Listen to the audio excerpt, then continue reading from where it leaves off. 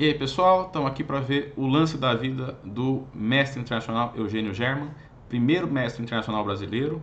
É, a partir daqui ele está de negras contra o terrível Victor Korchnoi, é, no Internacional de Estocolmo de 62. Antes de ir para o xadrez, só algumas considerações. Primeiro, falar que o mestre nacional Gabriel Miguel tem um canal aqui no YouTube, fez um vídeo recentemente com algumas curiosidades, uma pequena biografia é, do mestre mineiro, que é bem bacana, eu vou deixar na descrição do vídeo, né?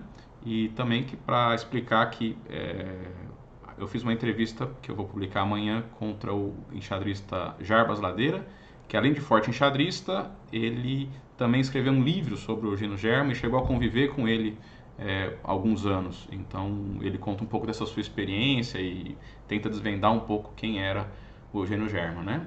E ele tem lances próprios da, da, vida dele, que a gente vai deixar também na descrição, como uma parte daqui ele, Jarbas Ladeira, jogou contra o Souza Mendes, que é uma outra referência nacional, mas a ideia é que, como a entrevista foi mais focada no Eugênio German, escolheu uma partida ou uma posição que ele jogou, né? Provavelmente esse torneio que ele jogou, que foi o Interzonal de 62, foi o torneio mais forte que ele jogou na vida.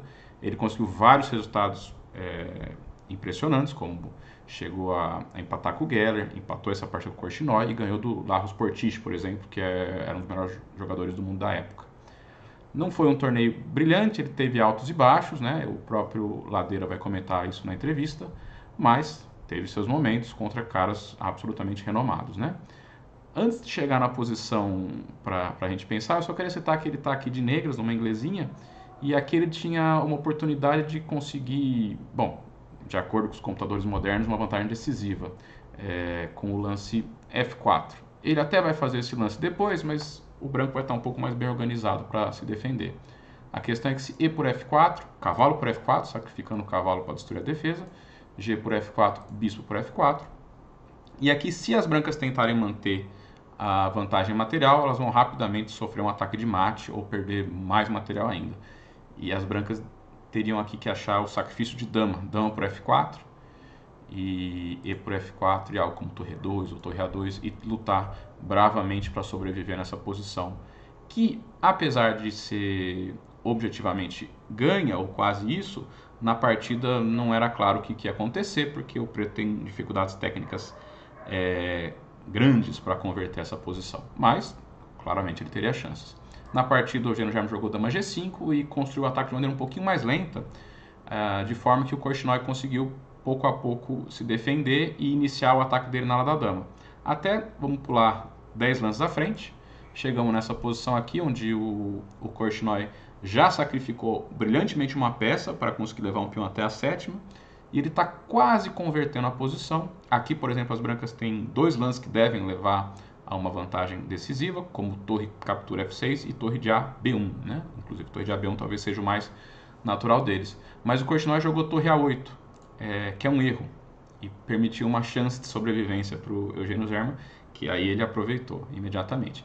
Quem quiser descobrir qual é o melhor lance para as negras, pausa o vídeo e pensa um pouquinho. E aí, pessoal? Alguma ideia? Bom, uh, esse é um daqueles casos que a situação é tão desesperada que às vezes a gente descobre a solução meio que porque tudo o resto simplesmente perde, né? Uh, a ameaça é simplesmente fazer dama e não tem nada que o preto possa fazer para evitar que o branco vá fazer dama. Então você tem que tentar minimizar os, é, os problemas, né? Diminuir a, a, a, força que isso vai acontecer. Lances como cavalo D7 ou, ou, ou, dama C7 vão só perder mais material e fatalmente o peão de B vai acabar promovendo. Então a ideia correta é simplesmente devolver um pouco de material, jogando cavalo por D5 exclama, permite que as brancas façam dama, obviamente o Korchnoi considerou esse lance na partida, e aí cavalo C7, que eu poderia apostar que foi o lance que o Korchnoi não viu, porque se ele tivesse visto, ele teria escolhido o lance torre de A, B1, né? Porque a questão toda é que a torre de A8 está atacada, e se você mexer a torre, cai a dama inteira.